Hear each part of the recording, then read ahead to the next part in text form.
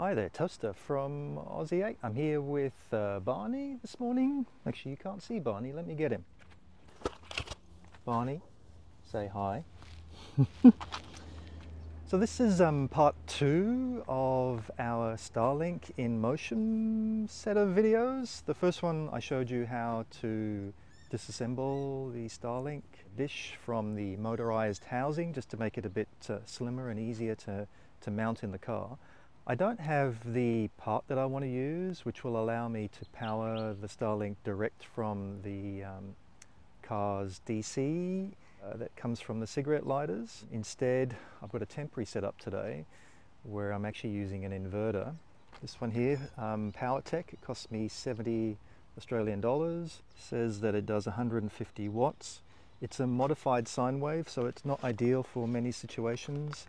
Um, but I think for Starlink, based on the research I did, this is probably going to be fine.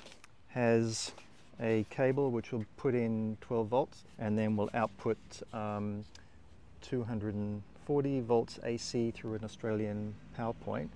In a subsequent video, I'll show you hopefully me powering the Starlink phased array directly from the car's battery and bypassing needing the Starlink router and the 240 volt AC inverter. So for those of you that watched my previous video, uh, you'll remember that I separated the phased array from the housing. Since then I've also removed the um, metal uh, mount.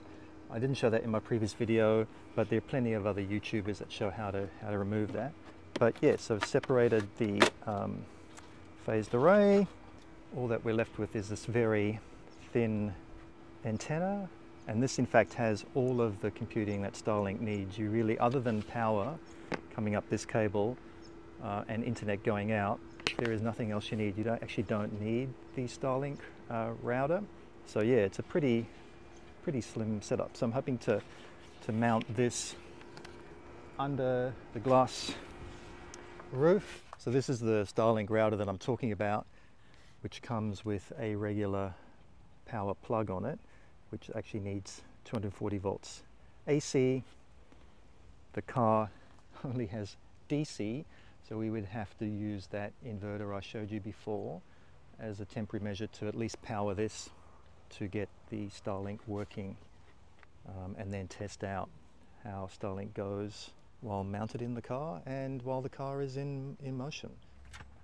All right, so here we are in the car. Um, so the plan is to mount this onto the glass roof up here. Just as a temporary measure, I'm just going to use tape. It's going to look a bit bit ordinary, but other than Barney, nobody sits in the in the back of the car. So we'll see how that how that goes, and then wire it up and test it out. So here we go with the uh, good old scotch. Here we go with the good old scotch tape.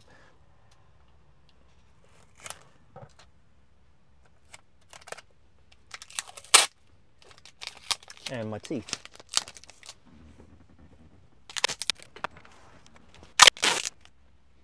So I've never, I haven't tried this yet. You're the first to witness me doing this. So um, if it all falls on my head, it's because I didn't test it out beforehand.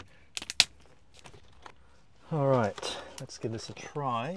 Probably need more tape, but let's just see if it, the four pieces will hold the weight initially. Not too bad. So the other thing that I need to do is obviously you know, cover up this exposed electronics. Um, it's not ideal. Um, I do have a sunshade which I'm going to put back here. I've actually taken it out for this uh, video, but I'll put it back in and that will offer some protection. There's nobody in the car back here except for Barney, and he's only tiny, so I don't think that he will reach it.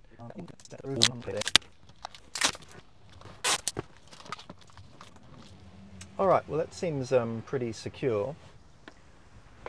So this is what the uh, temporary setup is going to look like. So here's the inverter. We'll plug that into the cigarette lighter in the car. Uh, we will then plug the Starlink router into that. That will give us mains power, AC at uh, 240 volts. So we'll have the router just somewhere in the car and then use and then use the cable up to the phased array. So I will do that now. Okay. Looks like I'm going to have to come through this way so that the camera can track me.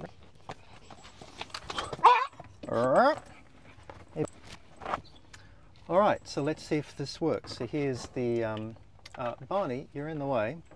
Can we have you come over this way? come on, over this way, please. Over here, sit down there, thank you. All right, so we've got the router plugged into the inverter. Here's the inverter's cigarette lighter cable. So we'll plug that into the cigarette lighter, which um, is conveniently located over here. Uh, I can hear the fan of the inverter going already. Um, and hopefully you can see the little white light. That's the only indicator on the Starlink router. The, little white light is now on. So the router is powered, which is a good sign. Uh, then plug the really long cable into the bottom of the router and into the phased array. And we are good to go. So in the next video, we will have tested this setup between Port Hedland, which is where we are now, and Karratha, which is our next stop. Um, and I'll let you know how the connectivity goes. So Barney and I thank you for watching us through to the end here of our um, dodgy setup of Starlink in, uh, in a Model Y. But yeah, like I said, we will improve, the, if it works, we will improve the um, setup and obviously kind of more professionally wire it. Um, so yes, stay tuned for future videos. Thanks for watching.